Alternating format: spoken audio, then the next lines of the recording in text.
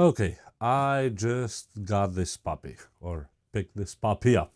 Let me twist it towards you so you can see better what's going on. And this is a Wi-Fi 6 extendable router through AI mesh, which means I can put now my older Asus that no longer receives updates, even on Merlin, unfortunately, even though it's a really good router. Yeah, time to move on, right? So I'll use this as part of the AI mesh or extender. That's what that really means. You know, AI is being overused these days, but this uh, this is what I got. 2 gigahertz, 4 core, quad core, CPU ultra fast network speed, AI protection, which they've had. This one actually has that AI protection too.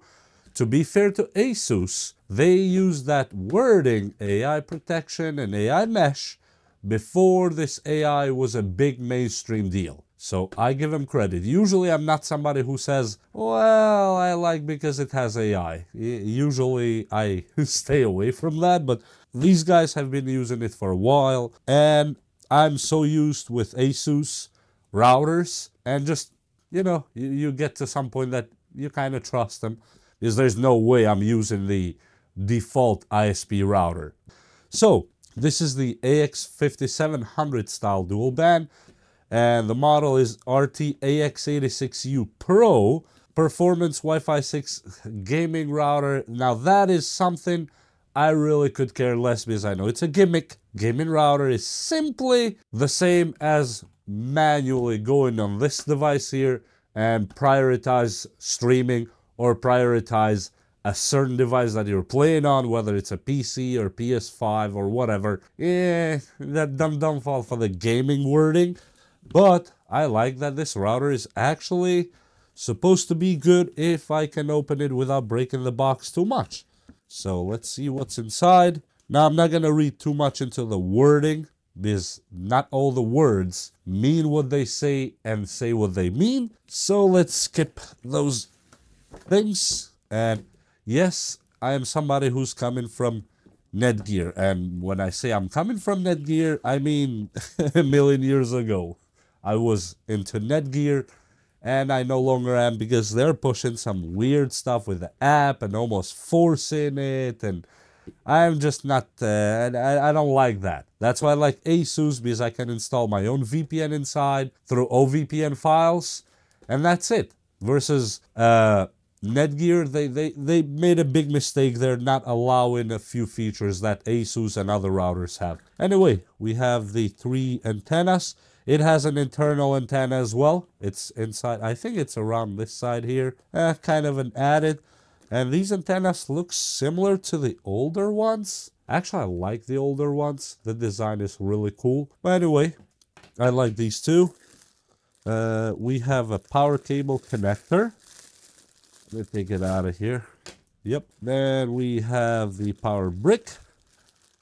I don't know why they decided to make it in two pieces, but hey, I trust what they think because they're engineers and I'm not, at least in this router. And uh, let's see. It's just like the laptop. If you remember, most of HP laptops used to come with this one. So I have actually some longer cords if I need it, even though I don't need it. But hey, here is the Asus itself. And here's paperwork that we are totally going to read. 1 million percent, just not today. And here we have a normal ethernet cable, just in case. And let me take the boxes out really quick so we see what we're uh, working on. Now let's see, what do we have? Some rubber feet here, screws where you can take it apart or put right here. And if you're taking it apart, there's, uh, let me cover some stuff here. There's one screw right under here, under this label, another screw right here.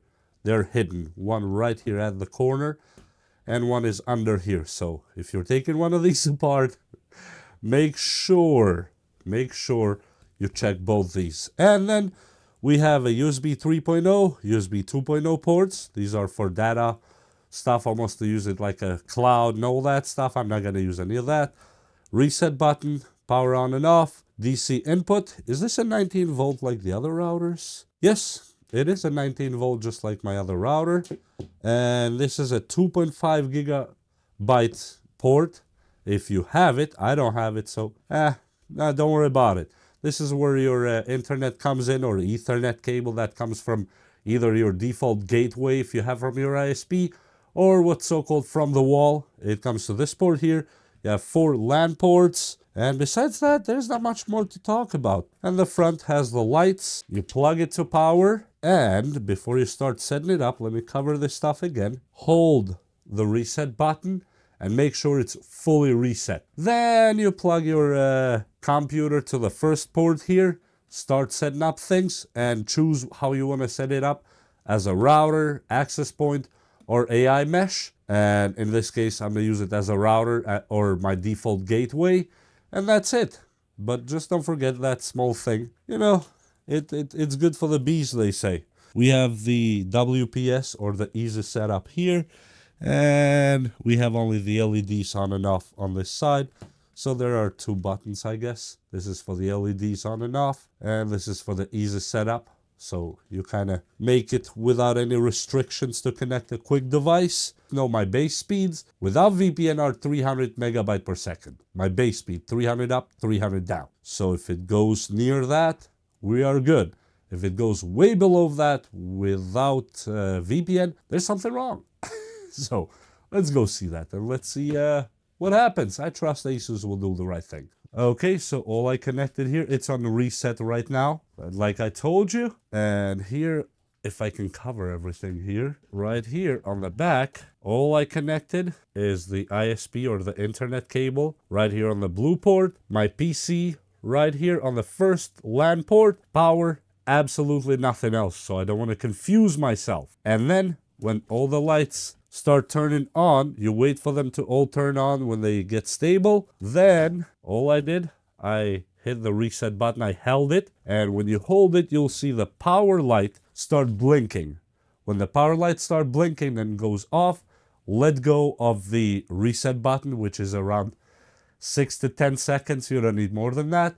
And wait for it to come back here. Right now, it's telling you that it was reset and you are ready to connect to the IP that's on the back of it, and that's all. We should be good to go to from our computer like I told you I love to do. Okay, welcome to RTX 86U Pro and I did not plug in anything now we're just going to choose operation mode here and we're going to make, this as a wireless router mode, which is the default. And I don't have 4G and 5G, which you can set it for that too. I'm going to put it at 1 gig WAN automatic IP, or you can change your IP. I'm going to leave the IP automatic. We don't have any PPOE from the ISP, which is pretty good. Static IP, nope. How to set this device as AI mesh, nope. And automatic IP. And we're gonna put network names here, assign unique SSID for the wireless because this is the initial setup. So I'm just gonna put whatever comes to mind and uh, we'll be right back. Separate 2.4 and 5 first. I forgot, I almost forgot that because I have some cameras that will be connected here and they only work on 2.4. Yay! I love it. So let me enter a few things and we'll come right back. And I usually like to give them different passwords here and uh, we're gonna go ahead and apply. And here we have router lo login name. This is for the administration only. So this is how you will enter the router itself for the settings. Name's gonna be just Asus Pro, and I'm gonna enter the passwords really quick. Boom, strong, tough, girthy. Okay, I'm gonna hit next, and we have to reconnect now to the Wi-Fi. And after I set up a few things, well, first thing, I updated the signature, and now, as you see, I'm updating the firmware, because of course, there are updates. This was just out of the box and I connected the AI protection just to make sure everything is correct and uh, we'll continue with the rest of the setup. There's not much that I'm gonna do here but we'll see. And after the that was an upgrade actually. And let's see what else we have. Signature is updated. Current version. Latest version 102.3436. Okay, so we have to click again. Is as you see, the one we have is 34319, but the latest is 34336. So hit firmware upgrade again, give it a few minutes and come back. These are just, you know, pains that you have to go through with a new router. This one, by the way, was manufactured in 2024. I do not know what month, but that's what it's at on the router itself and uh, we'll get right back after this is done. Okay, so most of the settings are done already and as you see we have that uh, internet light going on and there's not much we can do here because uh, that's what I was talking about the AI protection thingy right here. I always like to keep this on. Just one of those things and as you see everything here is good and there is not much. Here you would have how many sites it has uh, protected you from, two-way ISP attacks, IPS attacks, no pun intended, and then infected device detection. There's nothing so far, thankfully, and uh, that's it.